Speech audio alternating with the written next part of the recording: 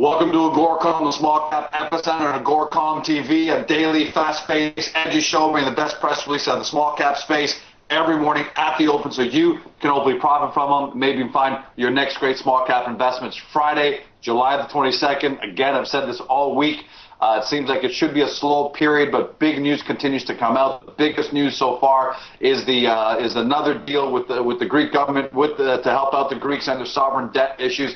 That's led to a lot of green across the board everywhere, and that's actually good for markets. All we need now is to get the U.S. together, uh, the Republicans and Democrats to agree on a debt ceiling deal, and I think we're going to see a skyrocketing market going right into the fall and winter. In the meantime, I've got three great press for you. I'm glad to tell you I've got China, uh, two stories out of there. Then I'm going to go on Canadian resources. First up, China Energy Corp, CHGY, announced it's put out their financial results for the second quarter uh, 2011. That's ending May 31st. There's a producer and trader of coal for domestic heating, uh, electrical generation, and also supplier of heating and electric energy services in Inner Mongolia. Uh, second quarter highlights: revenue 32.2 mil, up 5, 57.1 percent. Net income 3.8 million or 8 cents per share. That compares to 4.4 million or 10 cents per share. So they are slightly down. Nonetheless, to have something to say about that with respect to valuation.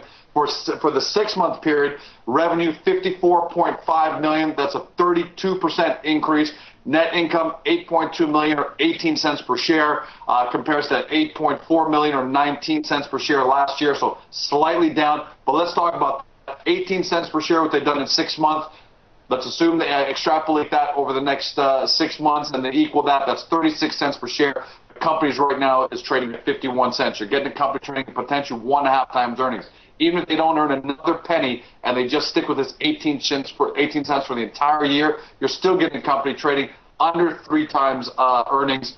Incredible valuation, 220 on the 52 week high, 36 cents on the low. Uh, as of this morning, China Energy is up just one penny, 1.96%, but we did just start trading. I love these valuations. Once we can figure out these reverse merger issues, uh, I get the feeling that we're going to have some fantastic, uh, uh, some fantastic gains on the Chinese side. Uh, China Automotive Systems put their Q1 numbers, trades on the stock symbol CAAS. Uh, revenue up 8.1% to $91 million. Net income 17.2 million. Uh, earnings per share 23 cents.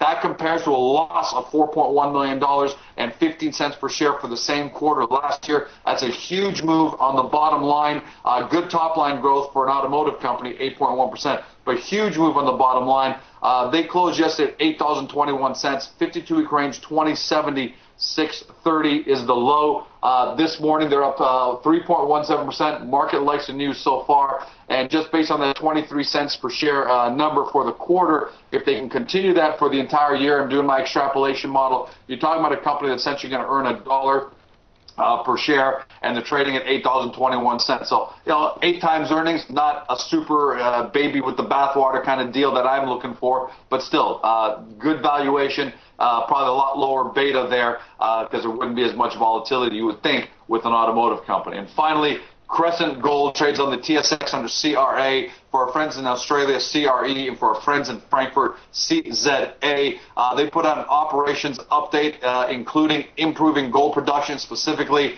Uh, they say that they uh, uh, their operation resulted in 23,870 ounces of uh, gold being produced. That's 8.5% above their guidance of 22,000 of 22,000 ounces for the June 2011 quarter. some other highlights. Uh, that number is up 28% and 59% compared to their two earlier campaigns. So it looks like they don't have steady progress yet, but they're just uh, uh, they're going through some production campaigns. Guidance for their next uh, campaign of gold production is again 22,000 ounces. So it looks like they're keeping it the same as the previous one, but they beat the previous one. so it looks like it looks like they're ahead of schedule. Do the math. Gold now trading at $1,600. I don't got to tell you do the math. Go take a look at the press release, find out their cost and so on and so forth. But uh, the company closed, and I'm trying to figure this out, closed just 6 cents yesterday. The 52 trading range is 20 on the high, 3 on the low. As of this morning, 6.5, up 8.3% on low volume. Uh, there's something more to the story there that almost doesn't seem right. Uh, market cap's only 35 million. It sounds like they have a billion shares outstanding or something like that. Uh, so go take a look and find out uh, what the situation there. Otherwise, quality over quantity. Three great press releases for you. China uh, resources, and we got some good sovereign debt news out of Europe. So everything is looking good today. Cross your fingers. Let's not get too high on that news, but uh, it's nice to be ending off the week that way.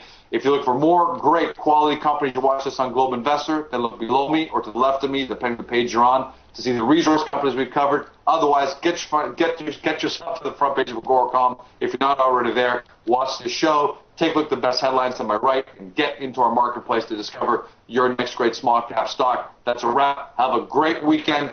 See you Monday.